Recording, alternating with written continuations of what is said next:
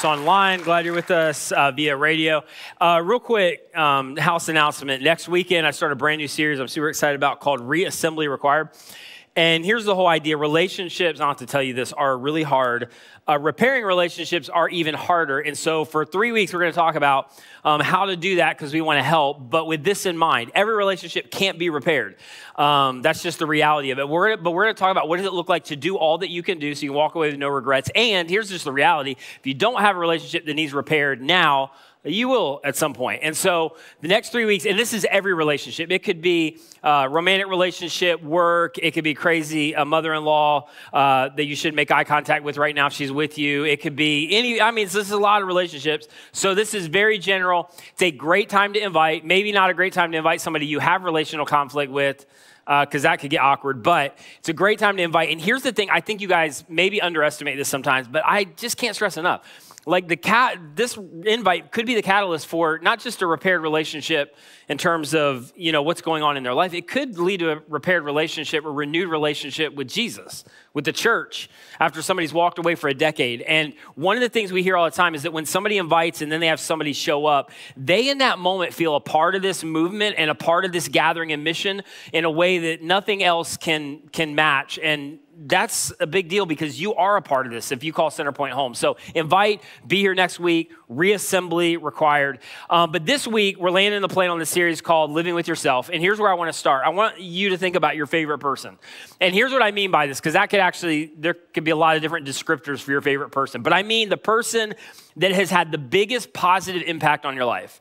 In fact, some of you would say, like, this person has changed the trajectory of your life. They've influenced you in a positive way in massive ways. Um, but who is that person for you? And here's what I know, even without knowing them, is generally they have several things in common. And one of the things is, anytime you hear somebody tell a story about somebody who's impacted their life in a significant way, their life was not consumed with them. Just mark it down. I'm talking about the person who's made an incredibly positive impact. They weren't about themselves. And in fact, in a lot of cases, the more that they pursued humility, which is humility is making other people feel important by what you say and what you do, the more they pursued humility, in some ways, the bigger they became, not smaller.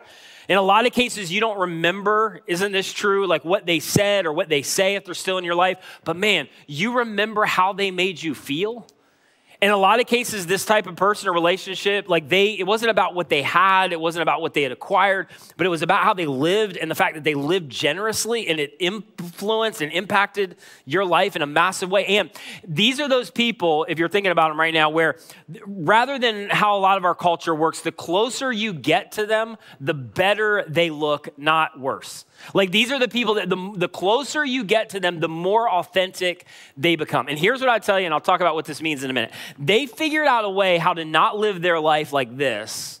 They figured out how to live life and do relationships and make decisions and organize priorities by living like this. And for a lot of people, there's somebody that comes to your mind. They shaped your life. They changed the trajectory of your life. They've influenced your parenting, influenced your marriage, maybe influenced some of the decisions that you've made career wise, but they had a massive impact on you. So we'll come back to that in a second. Um, we're in part four of living with yourself, and just real quick, catching you up if you haven't been here. The whole series is about making sure that the self that you live with is the self that other people see, the self that you intended to be. And what we've said throughout the series is everybody has a story of looking at the outside and somebody melts down, everything goes off the rails, they're living a double life, they're harboring a secret, they're lying to the people who love them and depend on them. And then it hits the fan, everything comes out. And without judgment, a lot of times you look at it from the outside and you go, how in the world could they live with themselves? Like, how could they keep showing up to dinner? How, how could they continue to, to like stand on that stage with what they're, what they're hiding? How could they continue to act like nothing's wrong and hide behind the facade? And our implication is with my integrity or my character, I just couldn't live with myself. There's no way I could go on. There's no way that I could continue to live that double life without melting down, without my conscience just being crushed under the weight of that. But here's what we've said in the series it's so important. You could live with yourself. You maybe couldn't, as we've said, live with your present self, but your present self may be miles away from your future self. In fact, your future self could be somebody, if left unattended, that you wouldn't even recognize. And the reason this is a big deal in this series is because, as we've said, the health of your soul will determine your capacity for duplicity. And soul is just mind, emotions, will, dreams, desires. The health of your soul determines your capacity for duplicity. Duplicity is like you live one way on the inside, you're another way on the outside. And the, the capacity you have for this is really determined by the health of your soul. The health of your soul determines whether the gap in your life can grow between who you actually are and maybe who you pretend to be. Who you pretend to be on social media, who you pretend to be to your coworkers, who you're trying to convince somebody, you know, else in your life that you've got it all together. The healthier soul determines how wide that gap can grow before you either close the gap and go, I'm not going to live like this anymore, or you just manage the gap. And so in this series, our whole goal is how, how, do you do that? How do you ensure that you don't end up there? Because, I mean, again, this is such a big deal. One of the big reasons I am convinced that people end up in situations like that is because they don't think they can end up in situations like that. And what we said in the series is it is possible that you could eventually become somebody that if you were to meet them today, you would despise them. You could become that person. So, how do you ensure that that doesn't happen? How do you safeguard your soul for the future? How do you make sure that you don't become a future self that you wouldn't even like? How do you make sure that the, duplicity doesn't destroy and kill you? And so we're looking at four habits that we started with week one surrender your will. Week two, monitor your heart. Last week, decide who you are. And then this week, I'm going to look at the fourth habit of how you safeguard your soul. How do you ensure that the self that you're living with is the self that you want to be and the self that God has intended you to be. Now, to get there, I want to come around this idea first. And this is kind of, uh, this is true of all of us. So if you're investigating faith, not sure about Jesus, which we have a lot of those people in the house and online, this is just true of human beings. But here's where I want to start to set up um, this fourth habit. The thing that is true about all of us is that we all desire someone's applause. And this is a human thing. It's not bad. In fact, God put that in you. God created you for that. That's just who you are. And it's, it's everything, everybody in the human race is there. But we, we all desire applause. We all are hardwired to want attention, to want approval, to want affirmation, to want love, to want, I mean, all of those things. And in fact, you see this at the earliest age. So you've watched other kids do this, or if you're a parent, um, you remember the dynamic, um, if you've seen it, or you're parenting a kid when they're like three years old or two years old, and they do something like for me, it's like, hey, daddy, watch this, watch this, hey, daddy, watch, hey, daddy, watch, hey, daddy, watch. And at two, they, you got to watch the same thing 400 times. And it's like you just jumped off of one step to another step that was seven inches high. I've seen this 400 times. What? I move on to something else. I, mean, I don't ever tell them that, but that's like that's what you're thinking.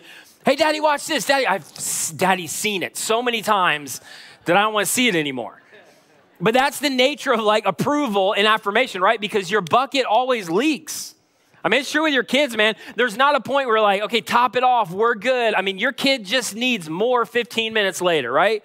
They want to show you another whatever. They want to you know, watch this. And it, but it's true of all of us, whether you're three or 53 or 83.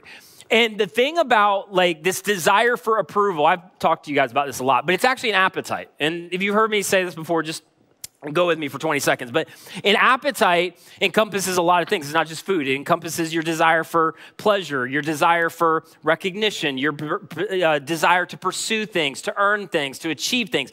All of those things are an appetite. And again, they're not wrong, but good appetites can be distorted. And the thing about appetites is, appetites, just like your appetite for food, is never fully and finally satisfied. Like you don't get to a place to go, I'm good. It always eventually wants more. And in fact, the more you feed it, especially around certain contexts, context, the more that it wants, the more that it gets, the more that it wants more. That's just the nature of appetites. And the same is true for your desire for affirmation and respect and attention and achievement. And after a while, that desire, that appetite, as it begins to grow, suddenly leads to, to a place where there's certain things in your life you just become accustomed to. You become entitled to them. You become dependent on them. And all of a sudden, that thing that you have, that thing that you earn, that thing that you achieve, that thing that you're kind of used to, all of a sudden you just become entitled to that. You become dependent on that. And most of the time for us as, you know, as adults, that we're unaware of it until we don't get our usual share. We, we don't get what we're used to. We get passed by. We get excluded. They're not praising us any longer. But we're unaware until we don't get our, our our normal share. And then we start to feel like, and this is just human nature, we start to feel like something's just kind of slipping away from us, that we're losing something, that something that we achieved or that we had or that we earned is, is kind of drifting away. And this could be a ton of things. This could be like, well, they didn't invite me this time. This could be, I've sat on the bench the entire year. Are you kidding me? I'm way better than these guys. This could be, I'm not, I'm not brought into ideations any longer, so they not value my opinion. Do they not value my insight? This is like, you know, they're dating somebody else. He didn't say he loved me. They didn't ask for my input. Like, no bonus. Are you kidding me? This is all of the no thank you, no hearts, no likes, no mentions, no shares on social media. I mean, whatever that thing is that like I had it and now I feel like I'm losing it or they're undermining or it's being taken away. And all of a sudden there's something in your life that just feels like it's kind of slipping away from you.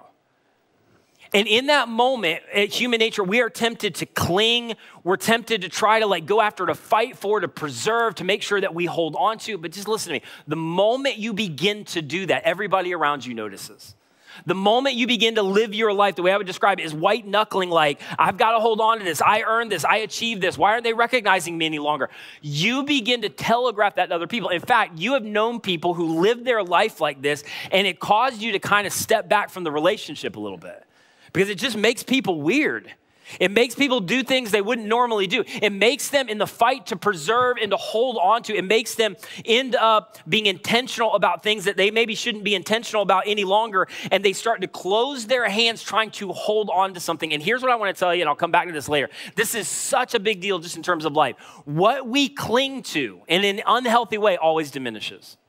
Like, whatever you feel like, I gotta hold on to this, I gotta preserve this, I gotta keep this, whatever you hold on to eventually diminishes. In fact, I would say it this way whatever you hold on to and cling to eventually diminishes you.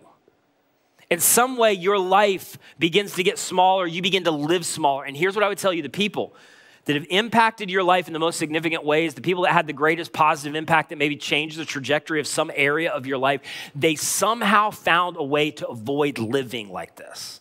They somehow were able to discover, I think, what a lot of people in our culture miss and it attracted you, it influenced you. In some cases, changed your life. Actually, the, the idea around all this is reflected in a single statement from one of the most famous guys in all of the scripture. And I, am I'm, I'm not overstating this. I, when I was thinking about this series, I, it was originally going to be a week longer, and I was in between two messages. I was kind of working on two outlines. And when we had to reduce it um, by a message, I was like, this is the thing out of the two that I got to talk about. And this is true about a lot of stuff I speak about, but this is incredibly important, incredibly personal to me. Because there's been several seasons of my life I learned, or this verse kind of hit me in a different way years ago, and then several seasons it kind of came back to the forefront.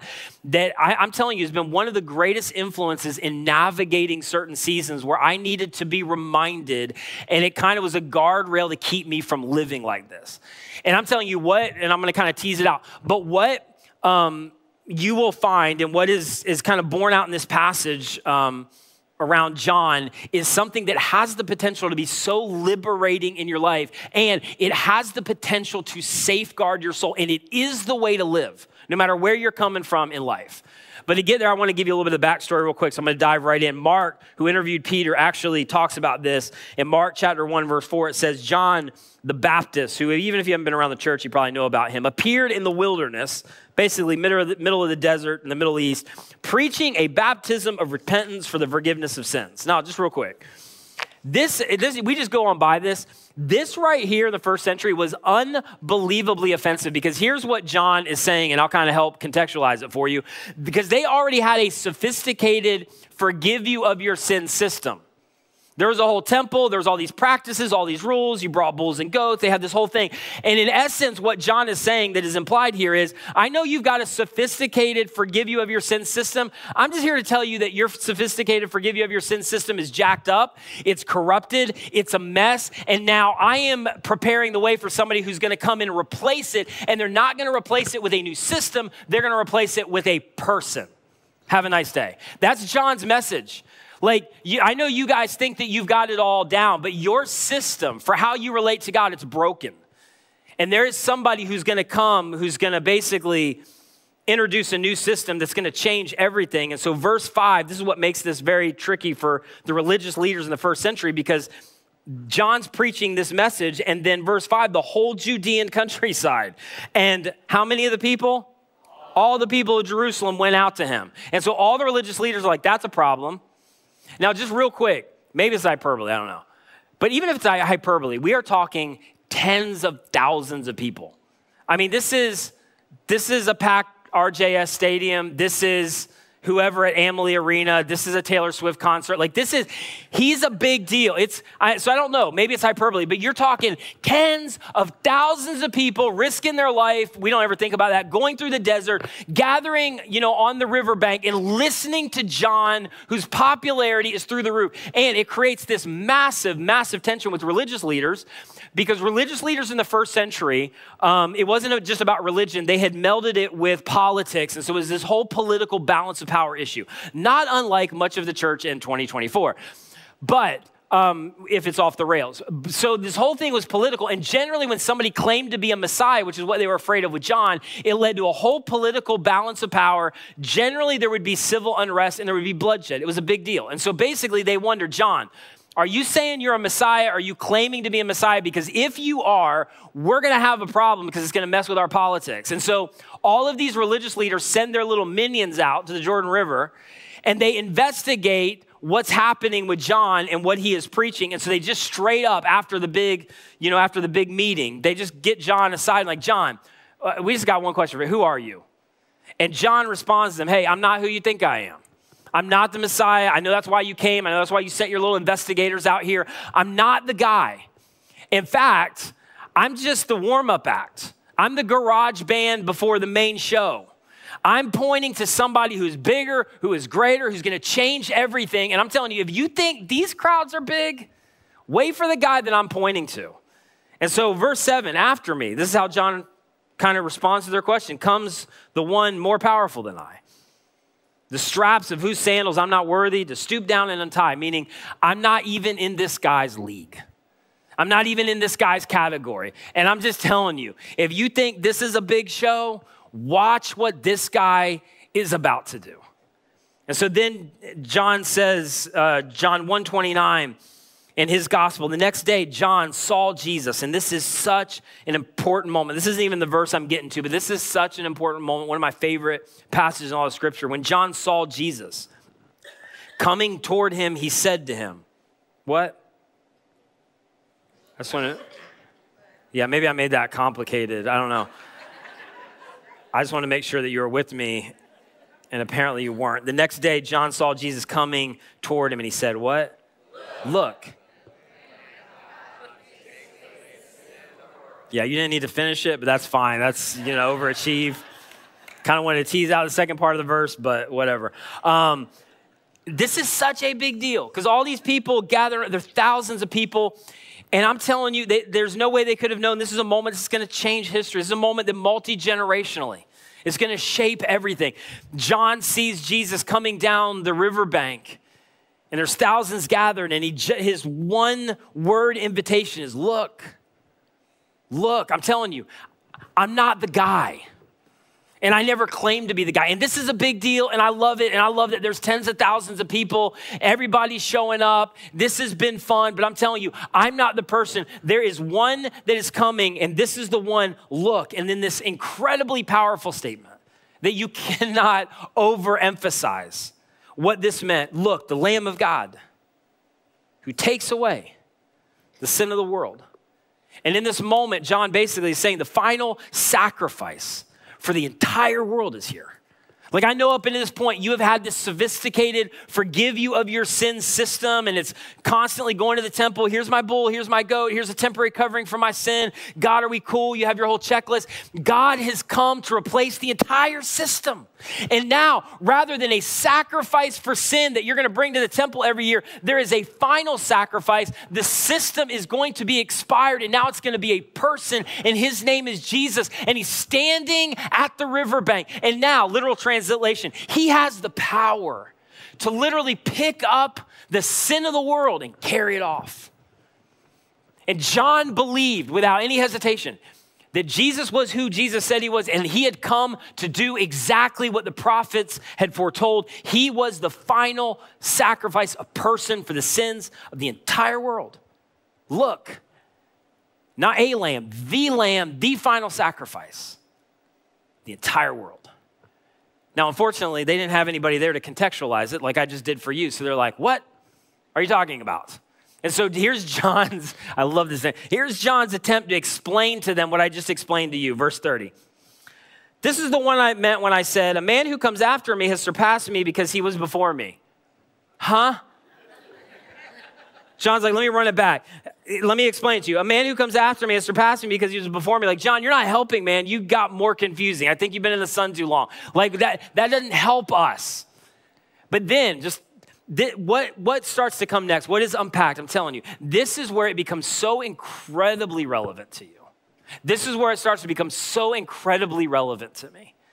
And if you're not a faith person trying to figure out the Jesus thing, I, I, love that you're, I don't know what you've experienced in Jesus' name. I don't know culturally what's been done. And then, you know, somebody signed Jesus' name to it and it was reprehensible and Jesus would want nothing to do with it. And you're just trying church again. You're trying to figure it out. And I have no idea all that you have experienced and all the ways in which Christianity has been muddled up and confused for you. My hope is that eventually you would come to the place in spite of all of that to recognize that's not the Jesus of the scriptures.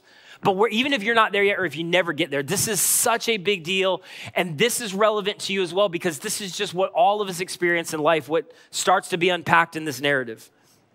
The verse 35, the next day, John was there again with his disciples. Now, again, two of his disciples. John had potentially hundreds of disciples. I mean, just real quick note again, I can't emphasize, John was the guy like Jesus wasn't even on the scene. He was a no-name carpenter from Nazareth. Um, like nobody knew who he was before this moment when he begins his public ministry. John was the dude. John had hundreds of disciples. Everybody looked to John. John, height of his popularity. And so the next day, there they are again. John's with his disciples. And when they saw Jesus passing by again, John said the same thing. Look, the Lamb of God and verse 37, when the two disciples heard him say this, they did what?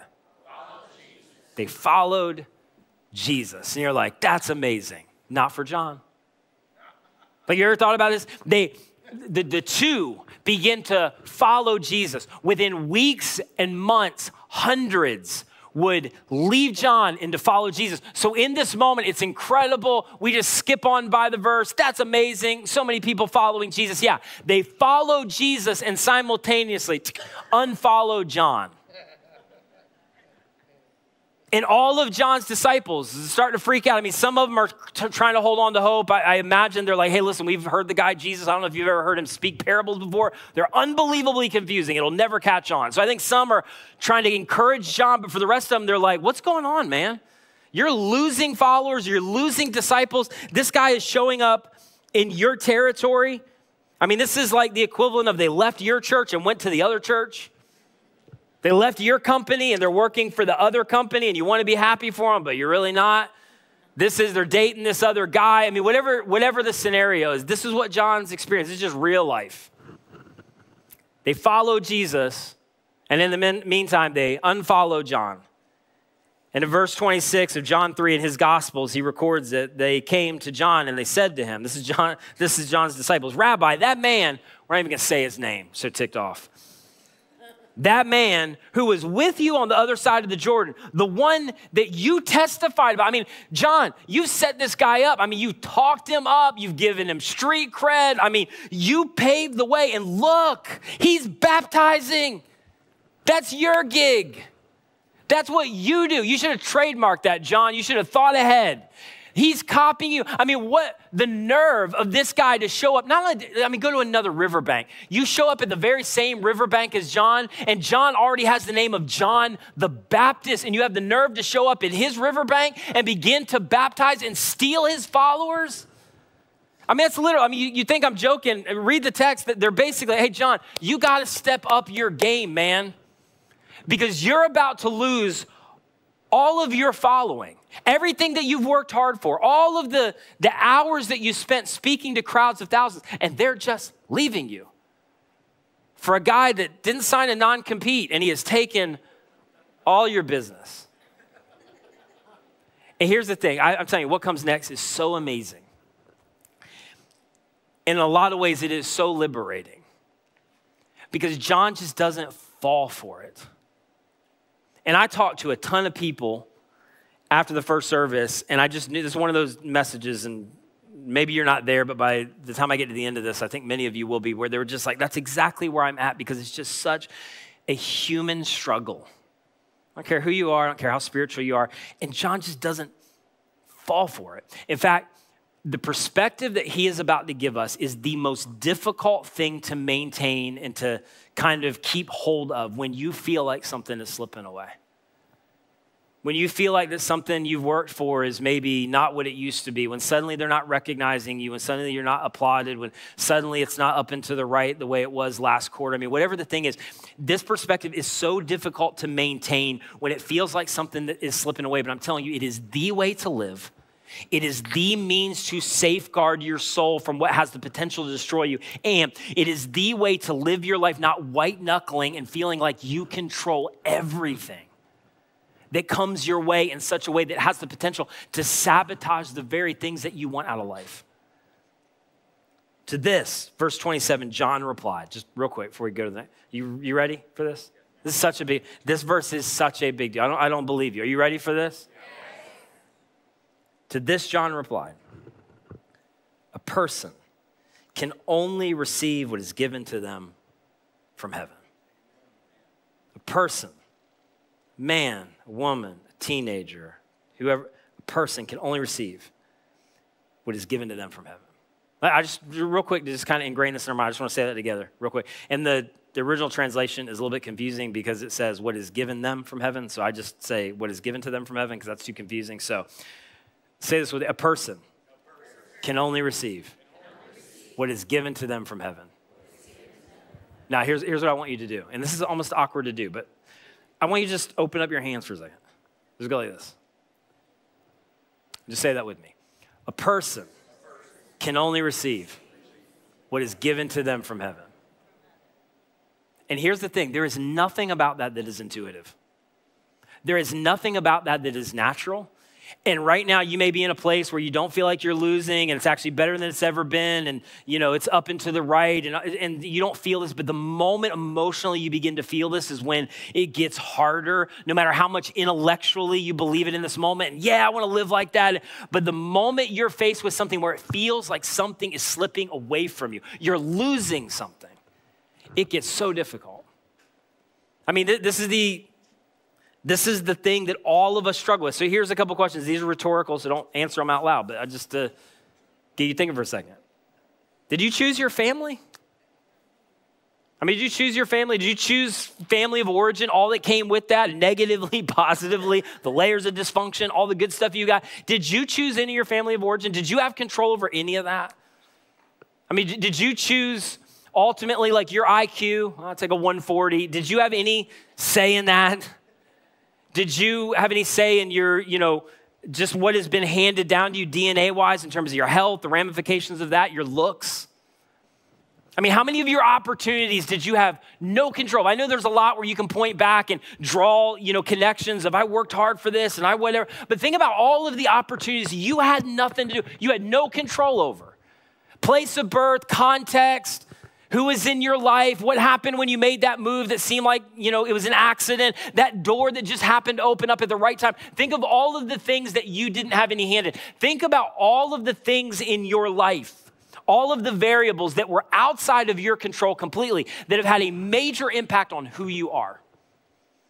What John is saying in this moment is there is no reason or excuse for anybody to have pride about anything. But on the other side of it, there's no reason to fear either.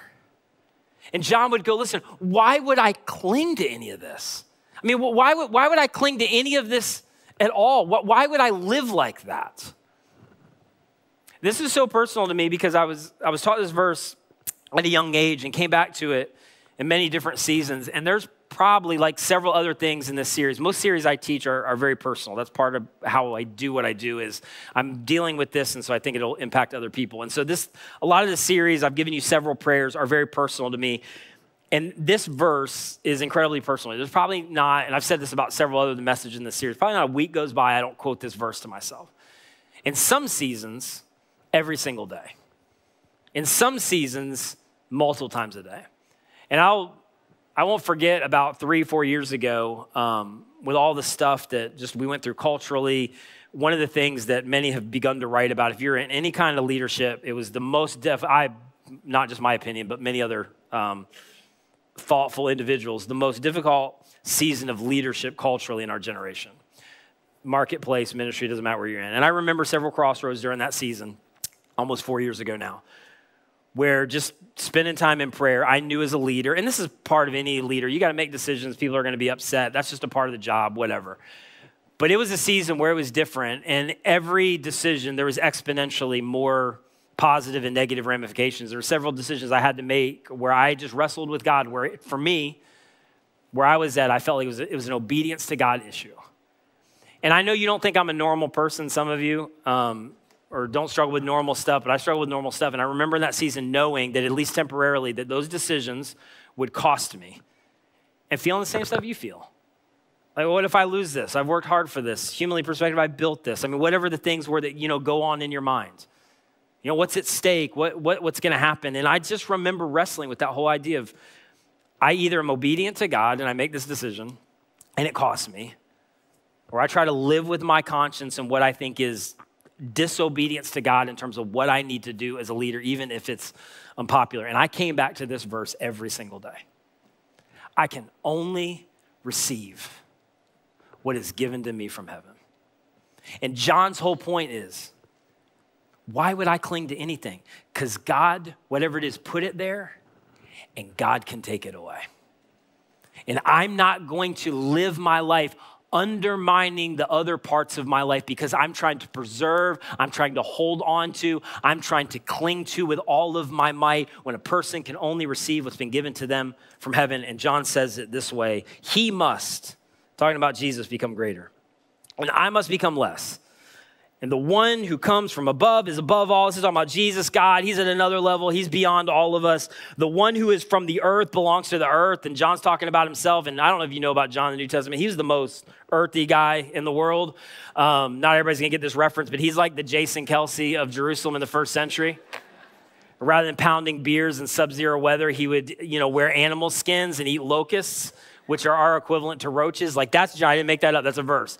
So John, he was a dude, is what I'm trying to say. And so John is like the one who's from the earth belongs to the earth and speaks as one from the earth. And here's what John is saying it's been a fun ride.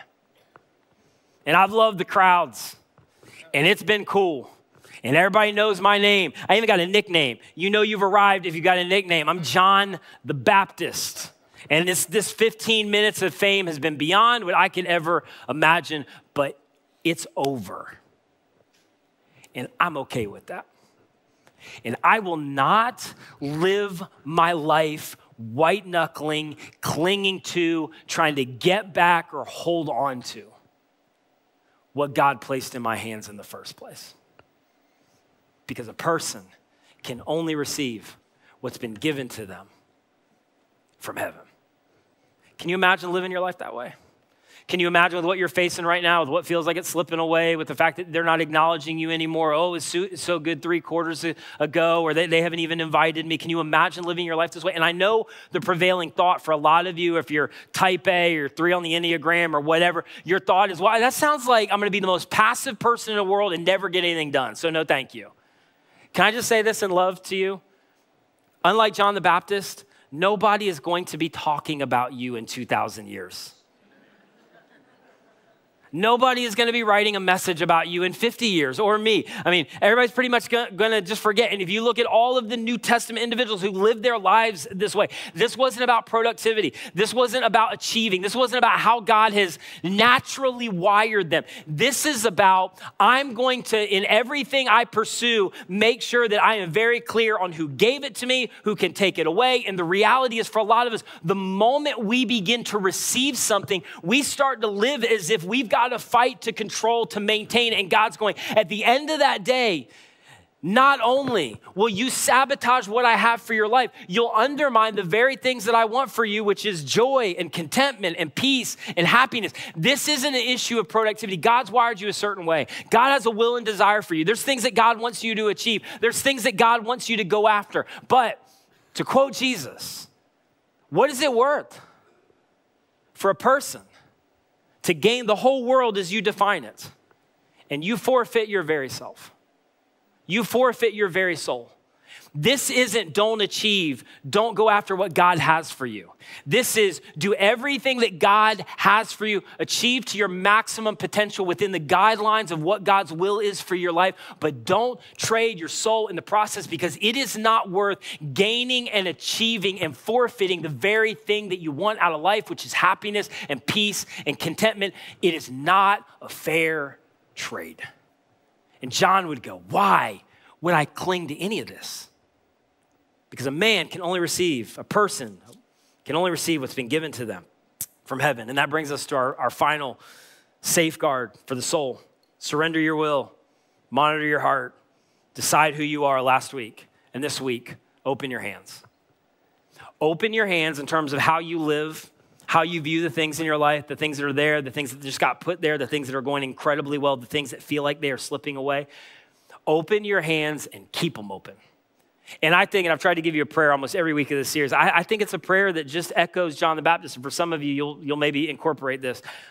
A person can only receive what's been given to them from heaven. This may be weird to you, but I, I most mornings, I'll just start, and physically, I just open my hands. And I'll just recite that to myself. I'll just remind myself of that. God, it's all yours. And I'm going to be grateful for everything that you have given me, but I will not cling to what I cannot keep. And here's the thing, man, that I, I kind of teased out in the beginning that you have to remember what you cling to eventually decreases in value.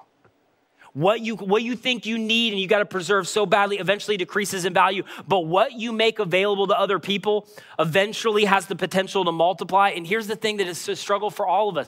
When we feel like something is starting to slip away, our fear of loss ultimately wars against our soul.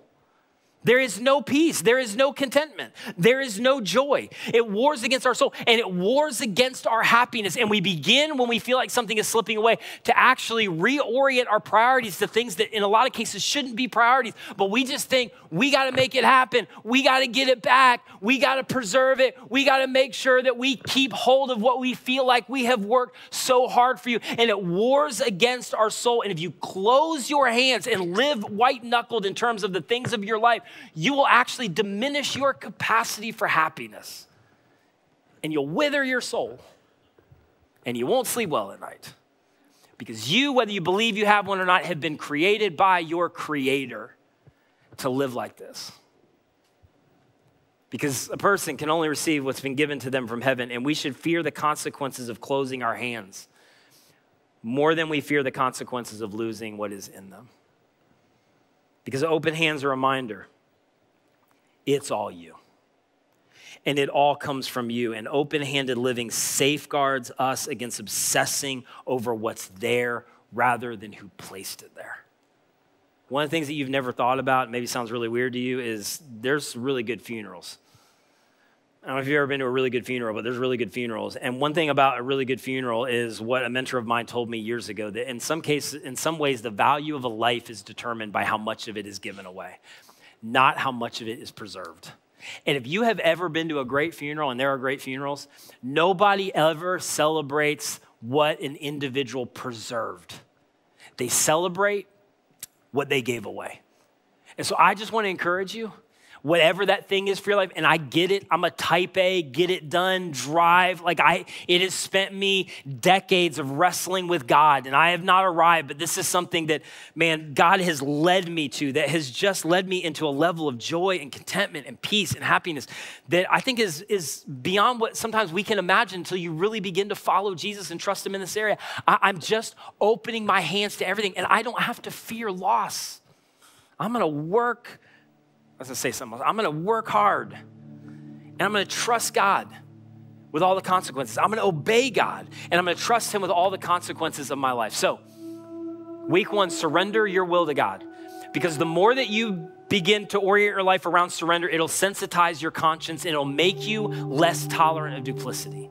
Week two, monitor your heart, specifically around the areas of guilt and anger and greed and jealousy. Do not settle for what our culture settles for, which is behavioral modification. Be the same person on the inside that you portray on the outside. Last week, come to the place to declare and decide who you are. And the more you obsess over who you are not, you will undermine everything that God has for you in terms of the rhythm of His desire and will for you in regard to who you are, who He's made you to be. And now this week, open your hands and leave them open. Live open handed. Because the capacity of your duplicity is determined by the health of your soul. And John, in one of his letters, letters writes this, and I'm going to end with it because I think this statement that he, that he begins with is the most perfect way to end this series when he says this in 3 John chapter 1, verse 2. I pray that in all respects you may prosper and be in good health, just as your soul prospers. Solomon said it this way that out of the heart and soul come all of the issues of life. So pay attention to it. He also said this above all else, guard your heart, guard your soul, pay attention to it. And I just, my whole hope behind the series is for so many of you, I just want your soul to prosper. I want you to pay attention to what most people just don't pay attention to. And I think more than anything, I want the self that you're living with to actually be the self that you intended to be. And more than that, and more importantly, that, I want the self that you're living with to be the person that God created you to be. So, God, I can only receive what is given to me from heaven. I surrender to you. I open my hands. Your will be done in me. Would you guys pray with me? Jesus, I thank you so much for what you're doing in this moment. And Lord, I know that there are so many different thoughts and issues and examples that move to the forefront.